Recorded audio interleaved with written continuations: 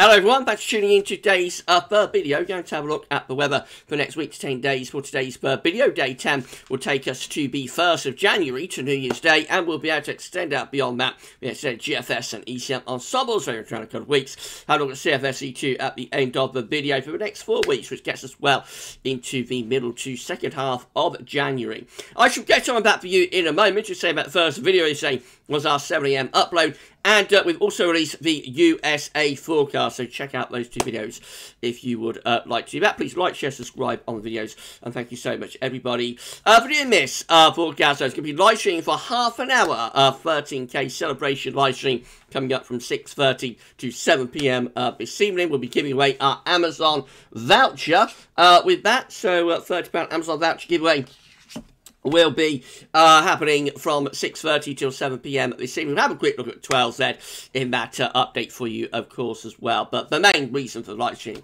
of half an hour is going to be uh, to, uh, you know, to um, give away the vouchers. So uh, I'll see you then, hopefully.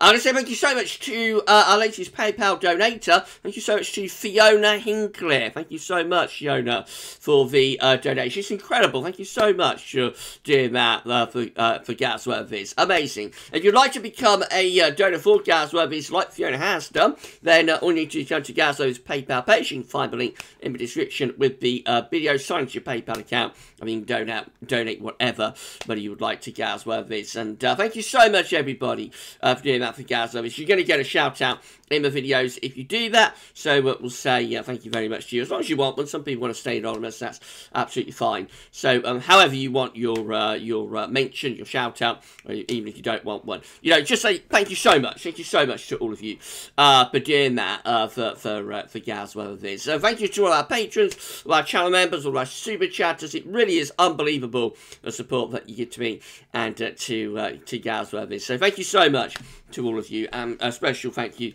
to Fiona Hinckley for the uh, latest donation. Uh, right, let's begin the video then. Uh, so, we'll see how this goes down, shall we? Going to start off section temperature. The CET is currently standing at 6.0. That's an anomaly of 1.2 degrees. That's going to drop a little bit more into the upper thighs. And then will rise over Christmas. And the reason that's going to rise, and this will be a very mild December now, is this. Check this out. This is the GFS upper air temperature and precipitation ensembles for the next couple of weeks for Northampton.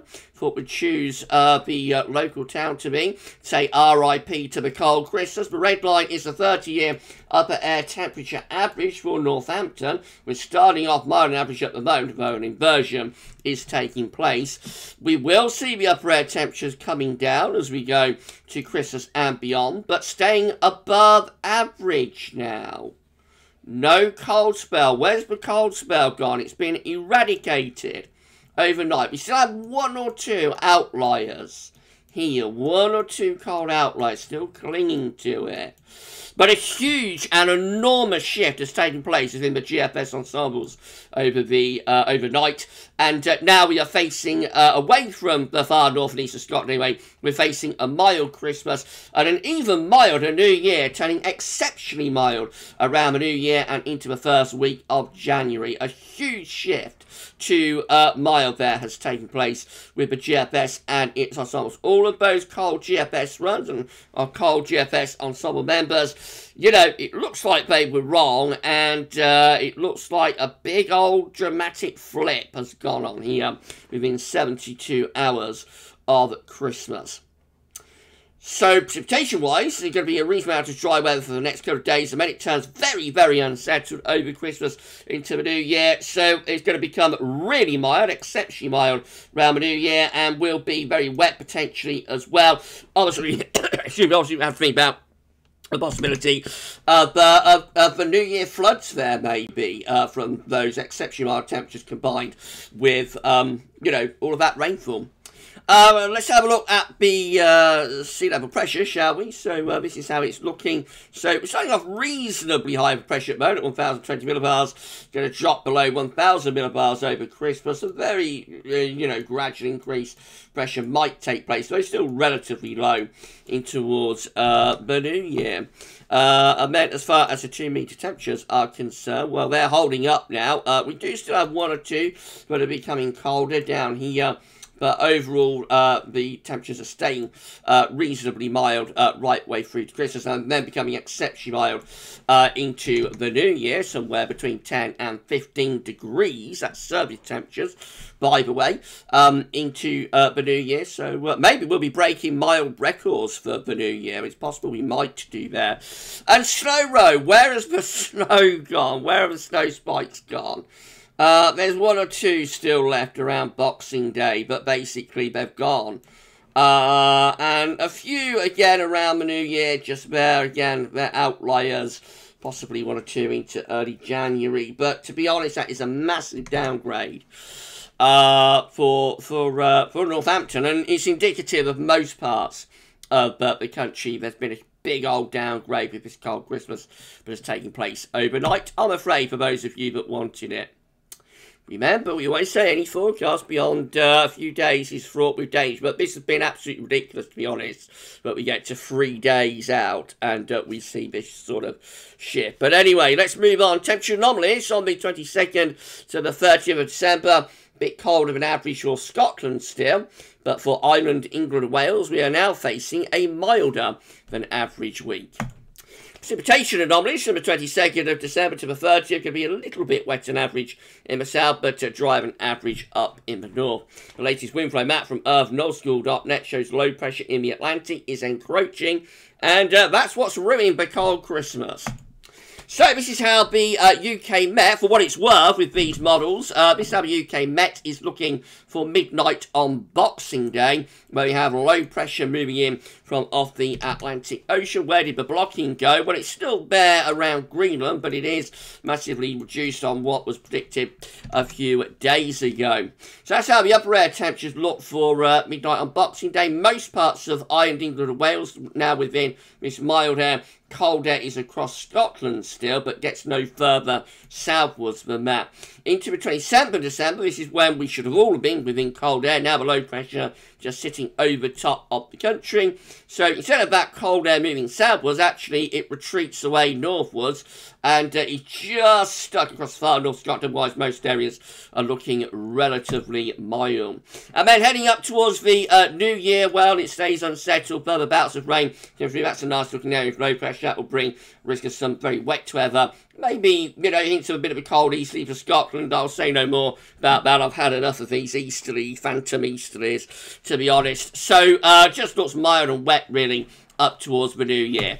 This Abbott GFS midnight run is uh, looking, and uh, again on Christmas Day, we've got high pressure to the north of Scotland blocking or trying to block things out, low pressure to the southwest. There's the south things set up as we go through to uh, midnight on Boxing Day, so low pressure coming in off the Atlantic, but no cold air except across Scotland. We've got minus 5 celsius isotherm through there, but for Ireland, England, Wales, we're within that mild air from the south. And uh, that retreats away northwards as we go into 27th of December. Instead of coming southwards, it retreats north. And so we look like being very wet, but also mild over Christmas. And that carries on then into towards the new year. In fact, it becomes exceptionally mild by New Year's Eve. High pressure sets up over France and Spain and drags up the air somewhere south of uh, the Azores or Madeira. And uh, we carry that on into New Year's Day as well, which of course is day 10. So, uh, you know, we could be looking at temperatures around the New Year, around 14, 15 degrees. Into the first week of January, these exceptionally mild southwesterly winds go on. And uh, still a little bit unsettled. High pressure tries to build back perhaps by the 7th of January. Uh, this is how the uh, GFS 6Z is looking. Again, lots of high pressure to our north and east, but uh, the cold air over Scandinavia is kept there because the Atlantic is just too strong to allow that cold air in. Upper air temperatures, 6 a.m. on Christmas Day look like that. Minus 5 Celsius isotherms with Scotland and northeastern England. Ireland, England, Wales looking very mild. As we go through to Boxing Day, uh, again, low pressure is to the south and west. High pressure wants to block to the northeast, but is unable to do so and that cold air is of coming southwards through Christmas Day, as was expected, like yesterday, uh, actually starts retreating back northwards again. And so we go to 27th then, we're looking exceptionally wet here, with deep low pressure bringing heavy bouts of rain, maybe floods, and uh, also very, very mild conditions as well. Look at those upper air temperatures, they look uh, really, really mild as we go through into the early part of next week. Heading on up towards day 10. Again, we draw up this extremely mild southwesterly wind. Up comes the air from the uh, Azores. And uh, there we go. Day 10, New Year's Day. Looks uh, really, really mild uh, with uh, bouts of rain in the north and west. Mainly dry in the southeast. In fact, probably quite spring-like, I would have thought, for southern and uh, eastern areas with temperatures maybe at around 15 degrees or something like that.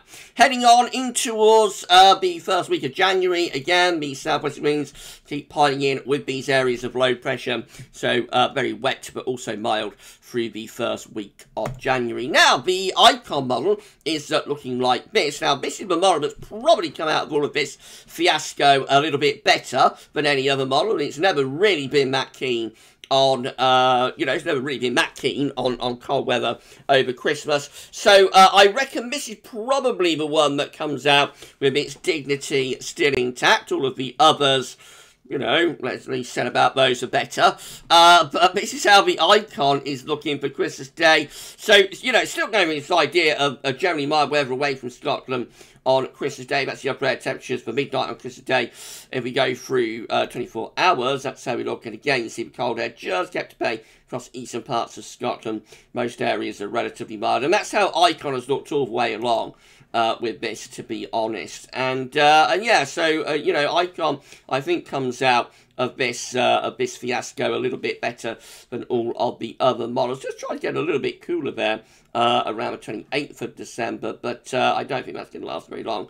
As low pressure and these exceptionally mild southwest winds are moving in between Christmas and the New Year. That's perhaps the one to keep an eye on. Icon maybe Icon's got it all sorted.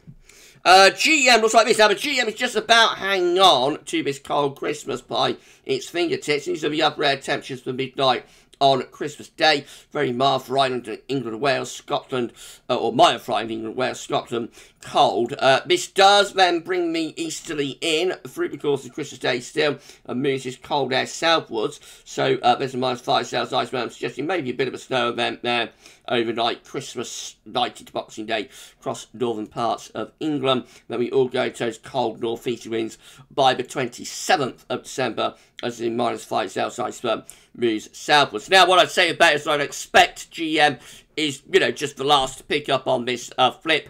And so I would have thought by the 12Z tonight, uh, GEM will also be in line with all other models in showing, uh, you know, cold, uh, um, much milder weather uh, around the Christmas period and also wetter as well. As it is heading into New Year, it looks like that. So uh, low pressure piling in from the Atlantic and and uh, and it's reducing the cold spell over Christmas anyway. Has done that. Um, and I would expect by mid by the 12Z set that will be released this evening, it will be in line with all other models and looking mild for Christmas and probably exceptionally mild for New Year. And then uh, ECM looks like that.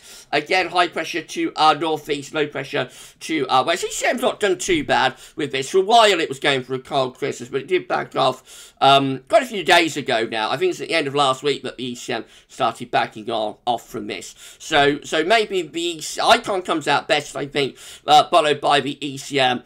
Uh, GFS, GEM, UK Met, those models have completely failed with this. Uh, this is how the uh, ECM is looking for midnight on Christmas Day. Generally mild for Ireland, England, Wales. Cold into Scotland and northeastern England. Uh, and then as you go through to Boxing Day, instead of cold coming southwards, it actually retreats northwards, and uh, the mild air takes over, turns very wet and unsettled, and exceptionally mild as we move up towards the new year. Actually bring the plus 10 Celsius isotherm in from the Azores there. Uh, which would not look out of place in June or July, um, but in January is, uh, is, is very very warm. Uh, BC precipitation forecast based on that ECM run from TibetShow.com. We've got rain advancing eastwards today. That might be the only sleet and wet snow, but a lot of people get, to be honest, as uh, as we move this in. And uh, there will be a little snow across Scotland on Christie, but otherwise we're just looking at rain, which to be fair, the ECM has been showing, you know, uh, consistently for some days now, to be honest. Um, so, so plenty of rain, uh, something heavy, and uh, and becoming extremely mild as well by the new year. These are the yachts on the table within the ECM Ensemble today for day 10, which gets us to New Year's Day. 20 members of ECM Ensemble to have low pressure, have high pressure, I should say, over to the south, low pressure out to west, and will draw up this exceptionally mild southwesterly wind for New Year.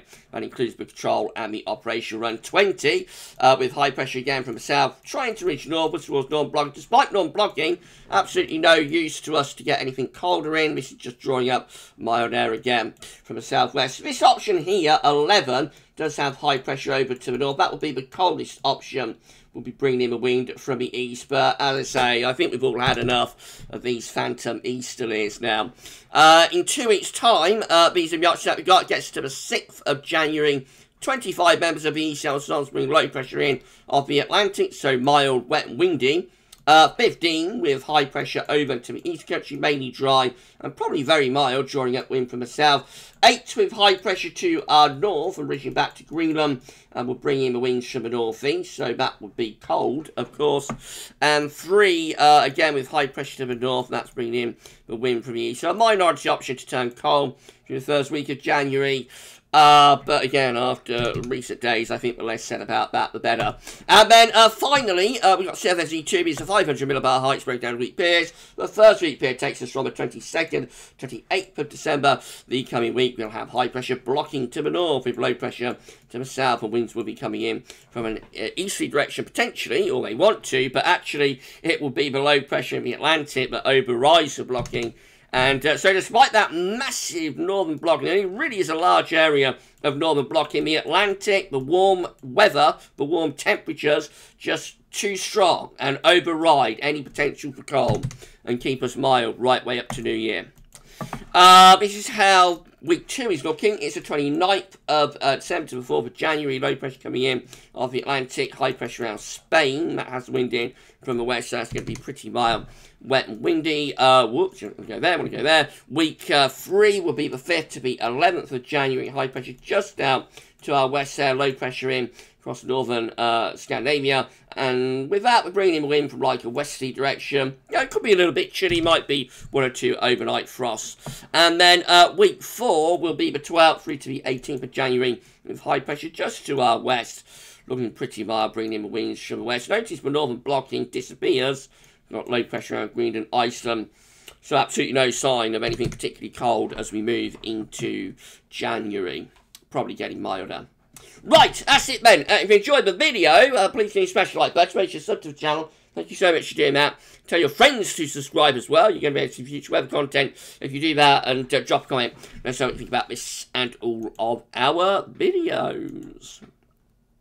And I wonder what the comments are going to say after this fiasco. Uh, anyway, there we go. We can only go by what the data shows. And the data was consistently showing uh, a cold crystal, bit with lots of wobbling and toing and froing. But, uh, but that's it. So uh, our cold Christmas is cancelled. And uh, away from North, North Scotland, we'll still get a cold Christmas. That has, has to be said. So if anybody in like far north of Scotland, we're not ignoring you. You will get a cold Christmas up there. I think, hopefully, it may it'll retreat, retreat away in the end. Um, but for the rest of us, it looks like we're in for a relatively mild and increasingly wet, maybe rather stormy uh, period uh, from Christmas and over uh, Christmas between Christmas and the New Year. Right, so we're going to be back at uh, 6.30 when we will be giving away our £30 Amazon voucher. There it is, so somebody will be winning that at uh, 6.30 tonight. Now have a look at the 12s then. Um, and we'll see what it's showing if you want to. Uh, but for this video, and I think we remember this one for quite some time, that's all for now, and thanks for watching.